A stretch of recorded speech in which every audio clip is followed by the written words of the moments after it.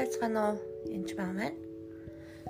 Та бүхэндээ өнөөдөр та нарын хамгийн сайн мэддэг бичлэг баацаа гэж бодсон. Бурхан ертөнцийг үнэхээр хайрлсан та цорын ганц хүүгээ өгсөн тул хүүд итгэдэг бүхэн мөхөхгүй харин мөнх амьтаа болно гэж.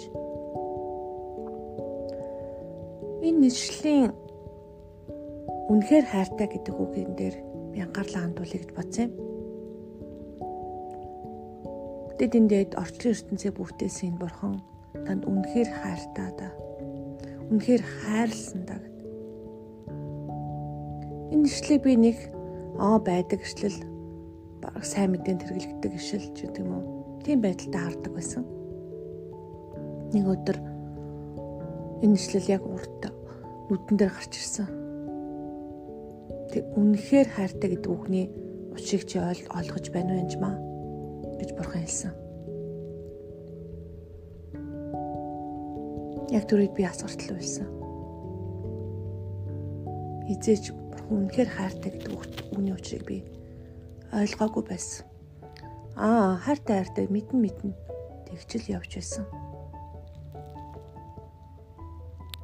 Үнэхээр хайрлсан да цорын ганц хүүгээ өгсөн.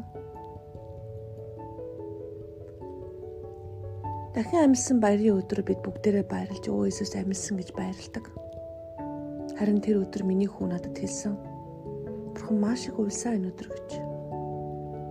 Яагаад гэсэн чинь хүүхдээ алдсан аав уйлдэн штэ. Бурхан ч бас аав байхгүй юу? Хүүгээ алдсандаа уйлсан гэж хэлсэн. Гэтэл тэр цорын ганц хайртай хүүгээ алдан алдан бидний төлөө амиа өгөн өгөн явсан биднэрт үнэхээр хайртай. Энэ үгийг бид нар заримдаа сайн ойлгохгүй. Ягаад гэвэл ихэнх хүмүүс би чамд хайртай гэчээд гомдоодог. Би чамд хайртай гэчээд зодддог, дарамтлагдаг, зовоодог. Дэлхийн амьдрал дээр хүмүүсийн үг үйлдэл хоёр зурж идэг. Харин Бурхны үг Бурхны үйлдэл хоёр хизээж зөрдөггүй. Тэгэхээр өнөөдөр би танарт нэгэн залбирлаар энэхүү гэрчлэлийг энэхүү подкастаа дуусгая гэж бодлоо. Нэгүслийн учир итгэлээр аврагдсан та нар ас бус харин Бурхны бэлэг бөгөөд үйлсэр чинь биш тул хэн ч үл сайрхах болно. Тэр ихэнхдээ бид нэр үйлсээрээ аврагдах гэж хичээдэг. Бид нар бурханд үйлчлэх ёстой, бурхныг хайрлах ёстой ийм тийм үйлдэл гэж. Эхний ээлжинд бид нар бурхны хайрыг ойлгож, түүний ямар гүн гүнзгийг мэдэж ойлгосны дараа хайраар үйлчилдэг. Шархалсан нэгэн хүнийг шашин юу гэж хэлдэг вэ гэхээр чи 10 сунаа тэгвэл нуруу чи идэхэн гэж хэлдэг. Эсвэл чи 10 хүнд өргөл өг 10 нохоо хоол гэж хэлдэг. Харин бурхан тэгдэггүй шархлан зүрхтэй нэг нэг надар эрэхтэн би эмчлэе гэж хэлдэг. Эмчсэний дараа тэрээр баяр хөөр 10 хүнд өргөл өргөх нь өөрийнх нь сонголтын асуудал. 10 хүн эмчлээд явуулахад нэг л хүн талархаж ирдэг. Бурхан тэрийг бас мэдчил байдаг. Бид нар маш их бага бага талархдаг улсууд. Багшаа таныг бурхан өрөөнө гэж маш олон хүн хэлдэг. Гэтэ бурхан хүнээр дамжуулж өрөөдөг. Бид нар бие биендээ хайраар үйлчлэхэд тэр нөгөө талын хүнээс бас хайрлал гарч байдаг. Харамсалтай талархлын сэтгэл баг байдаг.